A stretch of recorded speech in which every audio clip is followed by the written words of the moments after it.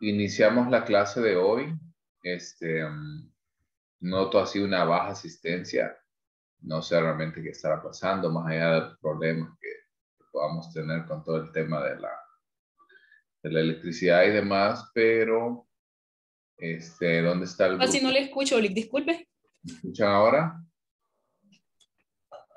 ¿Sí se escucha? ¿Sí? Sí. Okay. Sí se le escucha. Perfecto. Entonces, hoy vemos, hoy realmente la clase es corta. Realmente lo único que vamos a terminar de ver son eh, como cinco o seis diapositivas, algo así, para poder dar eh, la finalización del, del último tema de la clase, de la primera unidad. Recuerden que este día sábado tenemos, su, tenemos el examen y por ende entonces quiero que queden eh, al final de la clase, vamos a discutir un poco eh, el horario que vamos a tener la clase para el día de hoy. ¿Ok? Mientras tanto, los demás van encendiendo su cámara. Qué raro, siguiente solo tres, cuatro personas más. Reina, por cierto, este, sí pudo revisarlo el examen, sí, ¿verdad? De, de medición. Es de medición. Ok. Ok. Entonces, para los demás, eh, ¿quiénes, son, ¿quiénes forman parte del grupo 4? Uh, Yoli, Azucena. Ok. Entonces, un segundito. Ahorita vamos a empezar a compartir.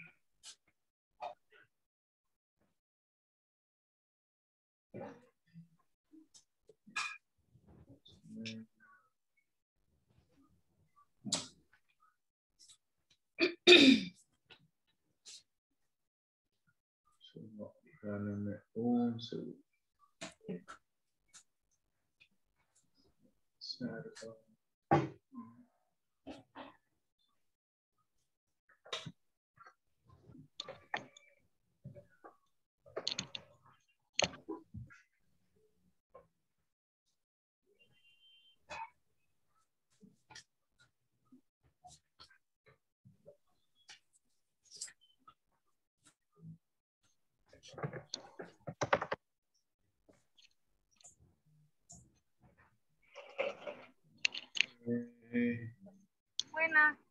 Hola, hola.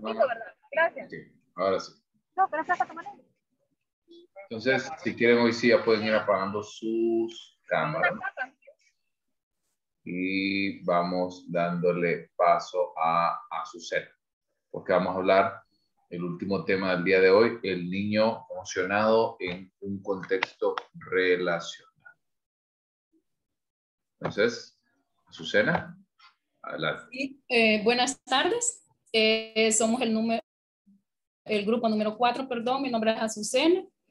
Y, y pues les voy a hablar un poquito acerca del niño emocionado en un contexto relacional.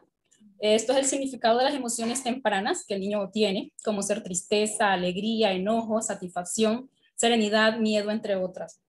Eh, las emociones tienen una función constructiva tan importante y es porque el significado de las emociones de los demás se da en etapas tempranas, desde los seis meses. Los niños pueden distinguir expresiones faciales, tonalidades de voz de sus padres, cuidadores o encargados y responder de manera afectiva a ellos. La emoción tiene tanta influencia debido a que se crea en situaciones sociales, donde el proceso pues, es recíproco por el que se comparte la conciencia y el conocimiento el adulto con el niño en un contexto social. Se crea en situaciones sociales de forma repetitiva en las que los niños comparten las emociones con los adultos. Estas no ocurren en el aislamiento, el desarrollo emocional se da en un contexto social, humano, llámese este la familia, también encargado cuidadores. Es repetitivo, interpretativo, evaluativo y comunicativo. Pues es, las emociones se interpretan, ¿verdad? Se eh, evalúan y comunican, por ejemplo, eh, la tristeza, por ejemplo, cuando el niño, por decirlo así, está triste, entonces nosotros evaluamos, miramos que vez podría ser que está, porque está enfermo eh, nos comunica algo. Se desarrolla de manera continua el significado de las experiencias emocionales para el menor.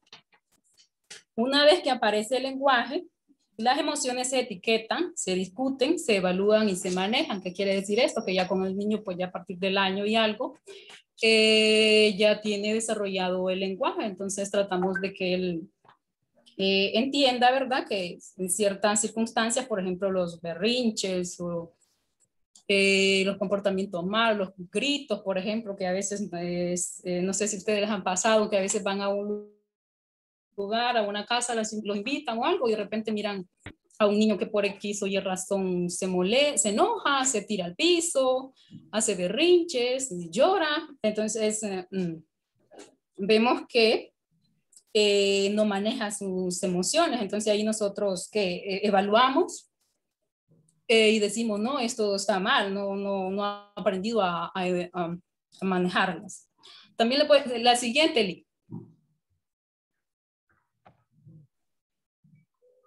También le voy a hablar un poquito de, acerca de la conciencia y, y, la motivación prosocial. Esta hace referencia al conocimiento interno en el niño que activa, dirige y mantiene la conducta social positiva. Es, eh, vimos en, en, el capítulo que estuvimos leyendo que hay varias investigaciones. Eh, una de ellas creo que es de Thompson, que nos indica que el niño aprende a cooperar por incentivos relacionales en el vínculo con sus padres y así de forma paulatina se forma la conciencia moral. En él, esto lo, lo, observamos en cómo se comporta el niño, si lo hace de forma responsable y las cualidades temperamentales que contribuyen el autocontrol, así como los sentimientos de culpa por em, haberse portado mal. Una orientación de manera responsiva o responsable entre el niño y la madre es crucial para el desarrollo de la conciencia eh, en el niño, ¿verdad? Eso tiene que haber, eh, esto eh, es como una cooperación recíproca que, se, que sensibiliza al niño acerca de las obligaciones de ambas partes. Esto lo hace, ¿verdad?, la madre o el encargado. Sabemos que el apego también proporciona la formación de la conciencia. También las, las conversaciones con los padres son importantes para la formación de valores. Eh, Thompson en el 2009 eh, miramos, eh, encontró que los niños cuyas madres discutían con frecuencia con sus hijos acerca de los sentimientos de los demás y proporcionaban evaluaciones morales sobre su, su conducta y la de los demás, tenían un mejor desarrollo de la conciencia y eso también lo podemos ver, ¿verdad? Con, uh, acá, pues con, nuestro, con nuestros hijos, que si estamos, por ejemplo, siempre estamos ahí recalcándoles de que no tiras la basura, que no andar peleando, no andar haciendo bullying y todo eso.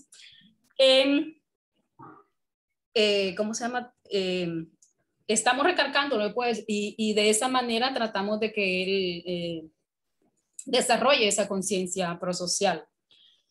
Eh, la forma en que las madres o encargados sensibilizan a los niños acerca de la buena o mala conducta es crucial para el desarrollo de la conciencia, como les decía, ¿verdad? El entender las emociones de otro puede ser un factor motivador temprano de la conducta prosocial. Sabemos que los niños a partir de los 14 meses, un año o dos meses, ellos ya son capaces de ayudar a uno de sus padres o a una persona adulta, ya sea a recoger un objeto o a realizar una tarea. Eh, pero todo esto va a depender eh, de si, la, eh, si ha tenido una orientación responsable y adecuada de parte de sus padres o cuidadores. Todos estos conceptos sobre el desarrollo del niño nos sirve para comprenderlo como una persona integral y también nos va a ayudar al momento de hacer una evaluación. Sigue mi compañera Lee. Ok. Solo aquí quiero, quiero resaltar algo. Este, un punto importante que ya vimos en, el día martes, que hablábamos acerca del apego seguro, eh, ya hemos hablado de los procesos de, eh, de cooperación, de los sentimientos de culpa. Yo me quiero enfocar en la conciencia moral. Ustedes recuerdan en Evolutiva cuando vieron a Lorenz Kohlberg eh, que hablaba acerca de la adquisición del de la moralidad y qué efecto tenía en, los niños eh, pasar desde el punto uno en el cual eh, nosotros hacíamos caso como niños eh, para evitar que nos castigaran. No porque creyéramos que algo era correcto, sino que sencillamente para evitar un castigo de parte de, de, de no solamente de nuestros padres, también piensen que hay personas que se quedaron olvidadas en esa, en, esa, en esa zona. Y en esa zona hablaba mucho acerca de que hay personas que tienden a hacer lo correcto, no porque consideren que eso que están haciendo es lo correcto, sino para evitar mayores dificultades más adelante, sino para simplemente eh, no hacer o no, o no eh, o, o, por temor a las repercusiones. A muchas personas que están acá en la actualidad, aún así, eh, dejan de hacer ciertas cosas por miedo a las repercusiones que puede haber, no porque realmente se considere que es, un, eh, que es una situación moral. Entonces, importante que nosotros tomemos esto en consideración. ¿Estamos? Sí, estamos. Perfecto. Avancemos entonces con la siguiente compañera. Buenas tardes. Este, yo les voy a hablar un poquito acerca de lo que es el proceso de la autocomprensión. Este proceso se da hasta, perdón, se establece, mejor dicho, hasta el tercer año de vida. Eh, y es en el que surge con la experiencia del niño, o sea que cuando el niño empieza a reconocerse eh, tanto su, eh, aspecto perdón, físico como para hablar, como para expresar sus, las primeras palabras. Em, y es aquí donde él también aprende a expresar sus sentimientos de un, en una forma verbal. ¿Sí? ¿Me escuchan? Sí, sí, sí. Sí, sí. Gracias. Este, él también aprende a expresar sus deseos, sus intenciones y también cuáles son sus necesidades. Los niños pequeños entonces son capaces de reconocer sus características psicológicas internas, las cuales se han demostrado que son en esencia emocionales. Pero aquí es donde difieren los padres cuando dicen los niños que se pueden describir, ellos solo los padres pueden diferir con ellos dependiendo también del clima familiar. Si puede pasar a la otra diapo, por favor. Gracias. Aquí se nos enumera varias, varios aspectos. Vamos a leer. El primero dice, la calidad afectiva de los niños con sus cuidadores les permite crear expectativas específicas. Dice la dos, las representaciones influyen en la relación del niño con otras personas. Dice en la 3, se asume la función constructiva de las emociones. Dice la 4, las emociones constituyen un vínculo psicológico. Dice que eh, un estudio realizado por Reikes, creo que así se pronuncia, y Thompson en el 2008, dice que ahí encontraron que las medidas tempranas y más tardías de cuidado maternal predecían la comprensión social cognitiva. Perdón. Los niños cuyas madres eran más sensibles en los primeros años dieron soluciones más competentes a, los problemas sociales. O sea, las madres que eran como más, ¿cómo se puede decir?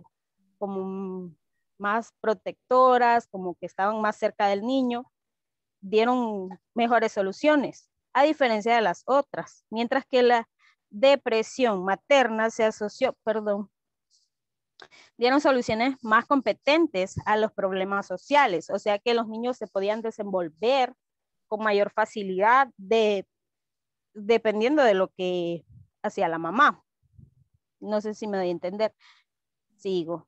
Mientras que la depresión materna se asoció con atribuciones negativas hacia las demás en el inicio de la primaria. Este tiene que ver también con el apego tanto seguro como inseguro con la mamá. o con la persona que estaba encargada de, de su cuidado, la persona más, más inmediata, por decirlo así, así como hablaban las compañeras anteriores del apego, que es muy importante. Así queda nuestro otro compañero con la siguiente diapo. Gracias. Ok, antes de que avancemos, hasta aquí estamos bien cuando hablamos del tema de cognición social. Creo que esta, creo que esta, esta parte de la clase es la, tal vez la más conocida en el sentido de que hay muchos conceptos que ya hemos venido viendo a través del tiempo, no solamente en esta clase, sino en otras clases anteriores.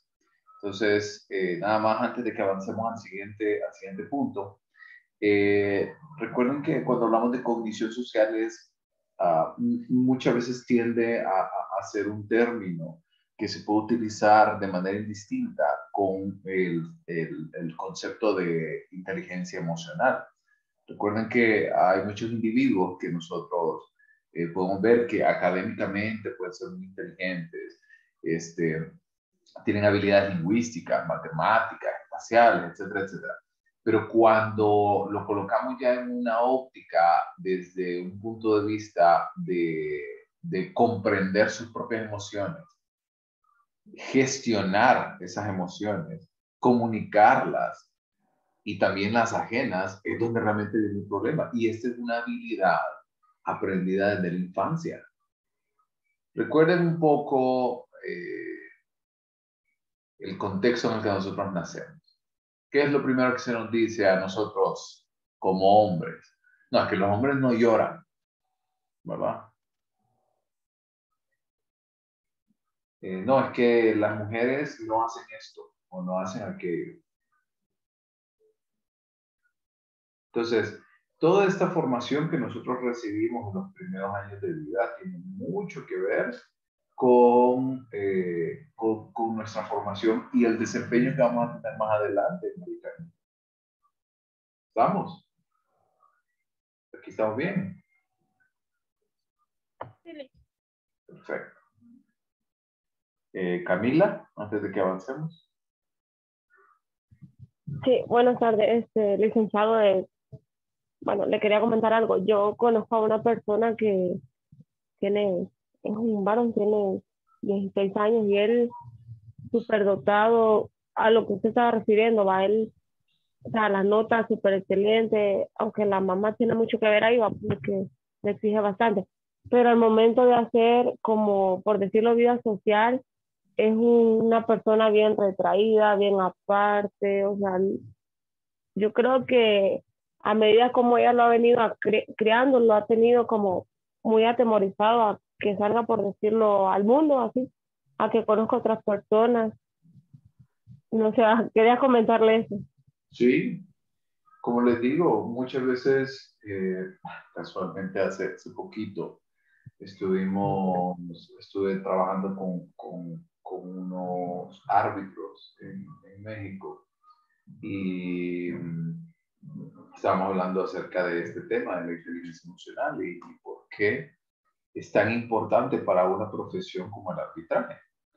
Y me decían de que muchas de estas situaciones, el estrés, el enfrentarse a demandas del ambiente y todo este tipo de cosas, tiene mucho que ver con el mismo proceso de, de gestión emocional.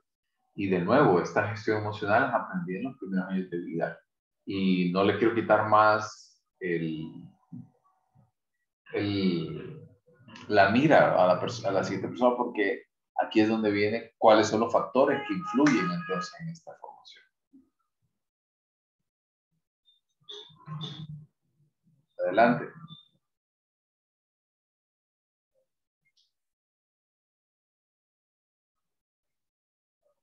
La... Eh, disculpe, Lick, puedo seguir. Eh, creo que mi compañero no se conectó. Jorge era. Eh, Víctor, creo, Lick. Ah, ok, ok, continúe. Eh, bueno, el desarrollo del niño emocionado influye en, eh, influye en varios factores, ¿verdad? El clima emocional donde, donde él se desarrolla, las demandas emocionales, los modelos que tenga, que en este caso van a ser, ¿verdad? Los padres encargados o cuidadores, eh, las evaluaciones y, o, y pues, que él eh, tenga, ¿verdad? Dentro del contexto social donde se desarrolle. El siguiente.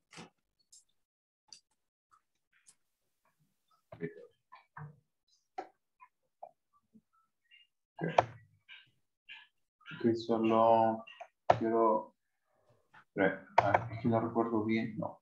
Ok, no, entonces quiero que, quiero que, quiero que empecemos por acá. que profundizar en esto. Ok, entonces en primer lugar, cuando hablamos de clima emocional, ¿qué, creen que estamos hablando de esto?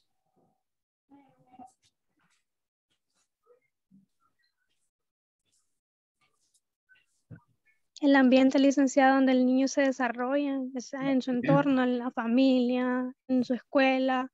Entonces es bien, es bien importante, ¿verdad? El clima eh, en el cual el niño se desarrolla porque él percibe las emociones de los demás y es así como él también las adopta de alguna manera. Entonces, si es un ambiente conflictivo el lugar donde el niño vive, entonces lógicamente le va a afectar en sus emociones.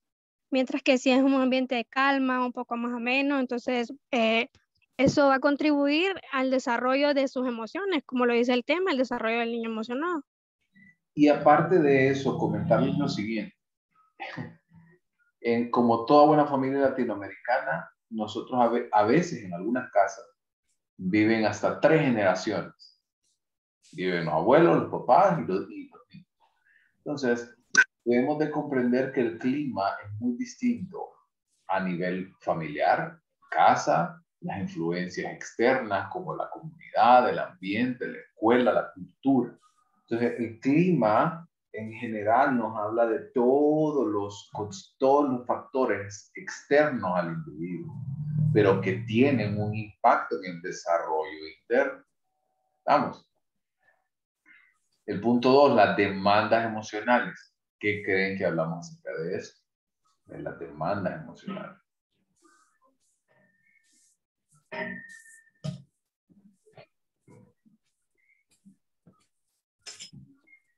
Ok. Entonces, cuando nosotros hablamos de las demandas emocionales, es lo que el ambiente a mí me solicita. Por ejemplo, personas que pierden familiares, eh, personas que están involucradas con su familia y que tienen algunas dificultades para poder eh, sobrellevar a cabo las actividades del día a día. Eh, las demandas emocionales a nivel personal. Por ejemplo, imaginemos el niño cómo se siente cuando, cuando la madre está ausente, cómo se siente al hacer X o Y actividad, cómo se siente el haber crecido y de repente la figura paterna no estar involucrada entonces, todo esto tiene que ver con el mismo proceso de lo que le solicita el ambiente al niño. ¿Ok? Ok. El siguiente punto, que son los modelos. Aquí estamos hablando de todos los modelos teóricos que nosotros ya hemos visto. Entonces, no vale la pena que nosotros eh, nos enfoquemos en este tema porque ya sabemos las diferentes explicaciones a través de esto. Donde sí me quiero enfocar un poco es en las evaluaciones, las preparaciones. Las evaluaciones es cómo el individuo evalúa su medio ambiente, cómo lo percibe, cómo lo, cómo lo ve, cómo lo considera. ¿Y por qué se vuelve tan importante en este aspecto? Pues obviamente tiene que ver con todos los procesos involucrados a nivel personal y cómo va a hacer cambiar esa percepción, el desarrollo de las emociones. ¿Ok? Ahora sí avancemos por acá.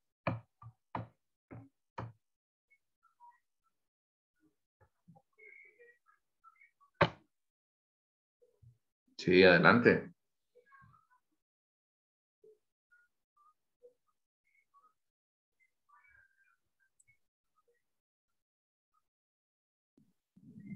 ¿Me escuchan?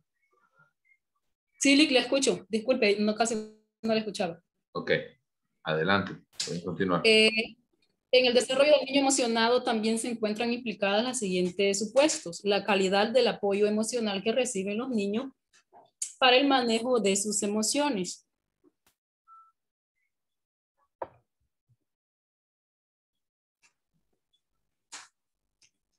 el niño realiza una evaluación de las personas y debe tener comunicación, socializar sus emociones, como ya lo habíamos visto anteriormente. El lenguaje expresivo funciona como catalizador de las emociones. Siguiente. Aquí me quiero parar. Empecemos por comprender qué es un catalizador.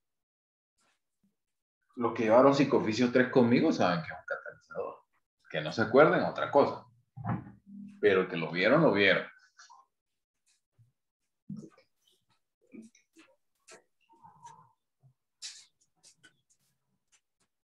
Lick, ¿Sí? ¿no sería como buscar una, esto, o sea, catalizador, imagino que venía la palabra canalizar, y cuando decimos canalizar nuestras emociones es centrar esas emociones en otra actividad o en, bueno, sí, en otra actividad.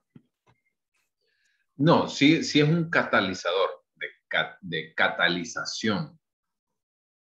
Ok. ¿Cuántos de ustedes cuando se han, cuando se han pasado, no les voy a decir de qué, de comida o bebida, se toman un Alka-Seltzer? ¿Sí? Y la Alka-Seltzer viene en una cierta forma y esta forma es una tableta que cuando entra en contacto con el agua se disuelve. ¿Cierto? Por ahí me escriben en el chat. Camila, reacciones. Sí, tiene mucho que ver con las reacciones. Laura. Eh, no, eso de lo que usted mencionaba, de que cuando abusamos ya sea de la comida o del alcohol, eh, bueno, en lo personal sí recurro a un alcacelsa. Entonces, cuando nosotros recurrimos a este medicamento que viene en una forma, viene en tableta, si usted, o sea, la se puede pasar años ahí sin tener una reacción. Pero cuando nosotros le agregamos agua, el agua se convierte en el catalizador. Eso quiere decir que genera una sustancia, un elemento o en general una cosa, puede generar entonces una reacción en otro elemento, en otra situación o en otra cosa. Ese es un ejemplo sencillo. Entonces, el agua como tal funciona como un catalizador cuando nosotros lo vemos desde un punto de vista de un medicamento. Pero el agua como tal es uno de los catalizadores más grandes a nivel corporal, a nivel biológico. Pero dejando de lado esto, por ejemplo, imagínense lo siguiente. Ustedes están en el borde de un enojo crítico, difícil en casa. Y de repente hay una cosita, una pequeña cosita que le termina de empujar a usted ba- bajo esa cuesta que no tiene fin y se termina enojando con todo. Entonces, esos elementos que causaron esa reacción son un catalizador. Entonces, cuando nosotros hablamos de, de lenguaje expresivo, eso quiere decir hablar, comunicar, hacer saber a otra persona, va a funcionar como un catalizador de las emociones. Las personas se van a sentir más cómodas en hacer, eh, en hacer o comunicar o desarrollar o- o compartir las emociones con otras personas. Entonces, por eso hablamos de que el lenguaje expresivo se vuelve un catalizador.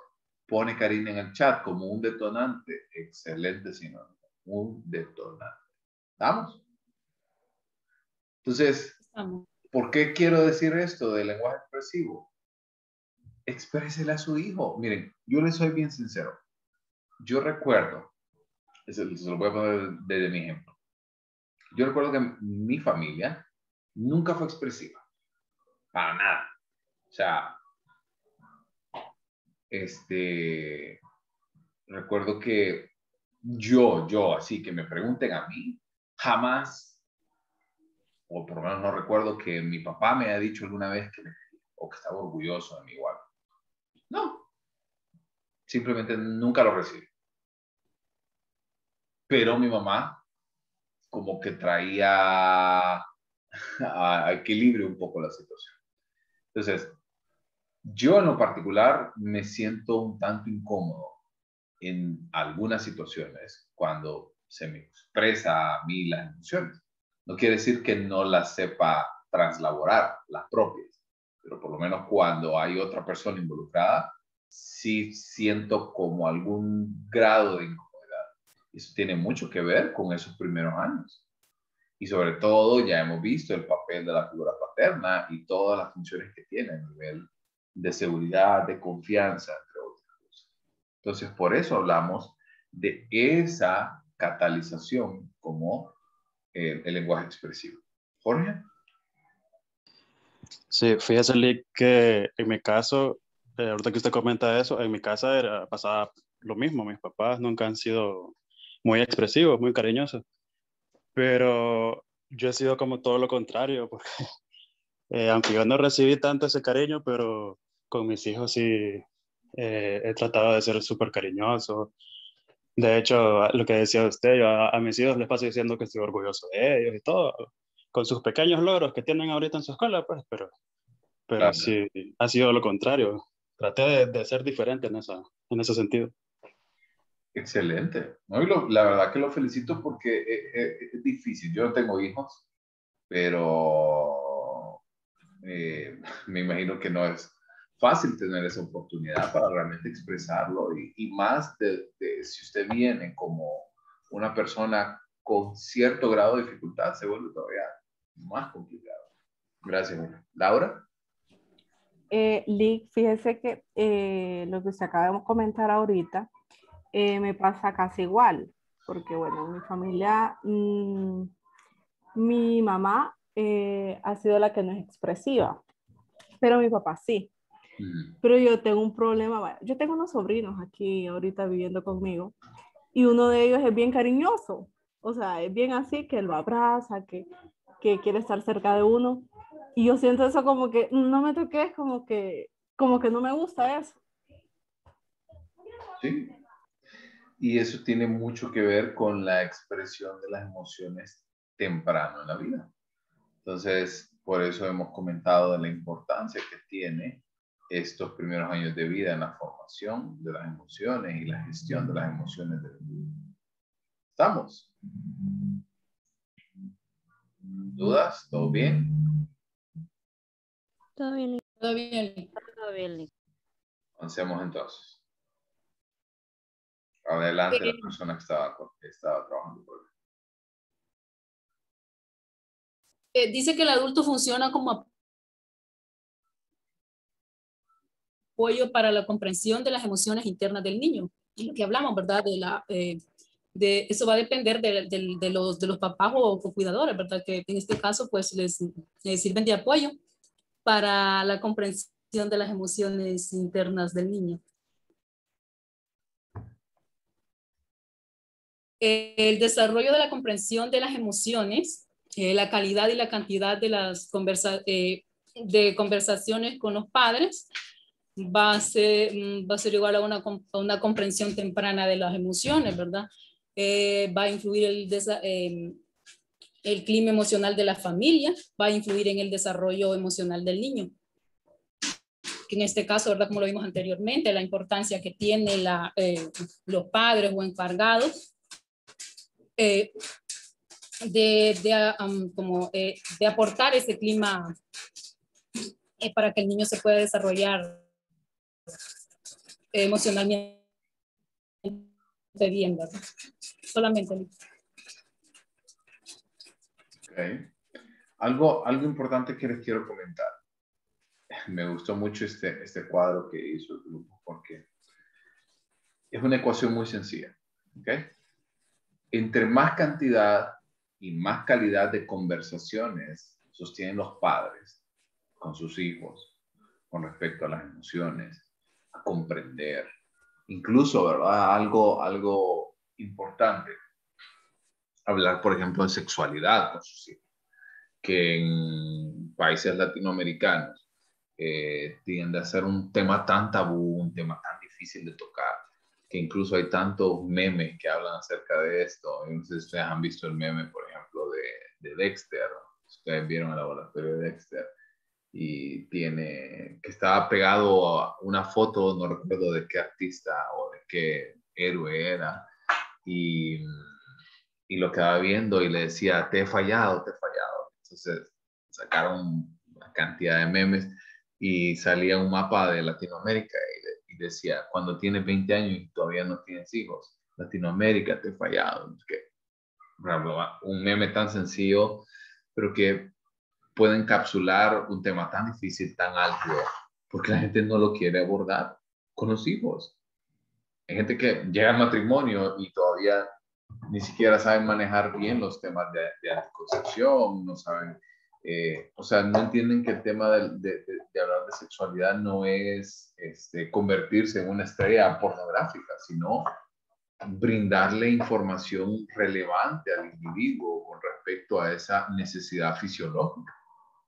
Entonces, muy, muy importante. Entonces, pongamos el máximo esfuerzo para el desarrollo de estas conversaciones, porque entre mayor calidad y mayor cantidad de conversaciones nosotros vamos a tener, un mayor comprendimiento de las emociones vamos a tener en los niños.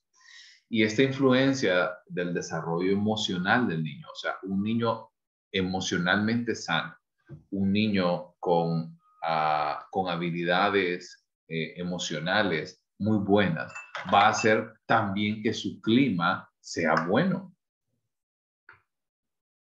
Su familia, su escuela, su pareja, sus hijos y demás. Pero el problema es que también lo opuesto es verdad. Entre menos dotado esté el niño de las habilidades emocionales, más difícil va a ser el clima para esa situación. Más difícil va a ser para él, para su pareja, para sus hijos, para su familia, para el ambiente, para la escuela, etc. ¿Estamos? Y con eso finalizamos la presentación. Voy a dejar de compartir. Eh, Laura.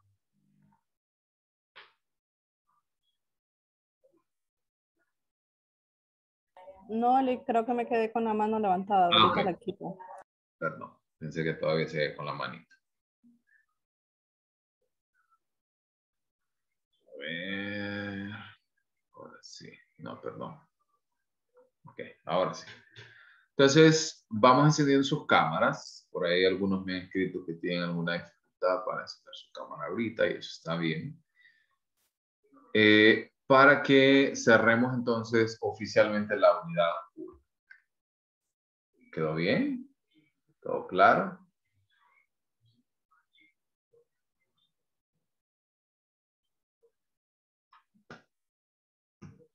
Clarísimos. Perfecto. Perfecto. Entonces, si no hay dudas, pasemos al siguiente tema, que es eh, la elaboración, perdón, eh, la aplicación del examen teórico. El examen teórico lo tenemos el día sábado, ¿cierto? Es un examen que mm, va a andar por ahí de los 60 a los 75 minutos desde ahorita ya saben todos los que han llevado clases conmigo que yo no pongo preguntas de verdadero o falso, pongo preguntas de análisis. Entonces prepárese para eso. No le voy a poner. ¿Usted cree que usted cree que, los primeros años de vida son importantes para el desarrollo de las emociones? Obvio. Entonces, la pregunta más allá de eso. Entonces, vayan preparándose para esta situación yo no soy de preguntar las cosas teóricas, sino más elementos de análisis y de reflexión. Entonces, el día sábado vamos a tener el examen. Ahora viene la siguiente pregunta. ¿En qué horario lo vamos a tener? Yo lo puedo programar a cualquier hora. Licenciado, yo en mi caso, eh, de viernes a domingo trabajo de 10 de la mañana y salgo hasta las 6 de la noche del trabajo. Ok. Yo lo puedo poner en la noche. En la noche, Lick. Sí, en la noche, Lick. Sí, pero yo sé que hay algunos que trabajan. Me parece como... Yo la... tengo un problema. ¿Perdón? Eh, no, le, no le escuché. Tengo un compromiso en la tarde, licenciado. Ok. Es... Lick, eh, yo tengo examen el sábado con el IC EMIS de medición 4, de 6 a 7. Pensaba mínimo después de las 7 de la noche. Ah, perfecto, está bien. Ok. Nada más creo que Camila tiene dificultades en la noche, ¿no? No sé si alguien más tiene dificultades. ¿Nadie más? ¿Todo bien? ¿Si quedamos? Ok. Lo voy a abrir de 7 a 9, pero el tiempo va a ser igual, entre 60 y 70 minutos, y luego eh, cada quien trabaja por su cuenta. Importante, no vaya a copiar y pegar. Desde ahorita lo digo. Ah, si se copia y pega, como dicen, no respondo. Entonces, trabajen, elaboren, por eso van a tener suficiente tiempo para pensar sus respuestas y poder eh, tener la, la, la, información más completa posible. Estamos, entonces, eh, con eso de 7 a 9 de la noche va a estar abierto el sábado, pero va a tener entre 60 y 70 minutos. Eh, ¿Qué es lo otro? La, en la siguiente semana iniciamos con, eh, con las pruebas. Entonces, en este fin de semana ya voy a estar habilitando los materiales para que ustedes lo vayan ojeando. Recuerden que tenemos clases hasta el martes, entonces ustedes el lunes. Si el domingo se quiere dar relax, libre, no quiere saber más de mí, está perfecto. Pero el lunes, por lo menos, descárguenlo. Por, probar. no le voy a decir que lo lea, descárguenlo por lo menos, para que ya tenga esa información. Estamos. Entonces, nos vemos el martes, sesión sincrónica, y yo quedo por ahí pendiente al correo electrónico. Feliz fin de semana y feliz resto del día. Entonces, bien. Muchas gracias, Lick. Feliz tarde. Feliz tarde a todos. Gracias, Lick.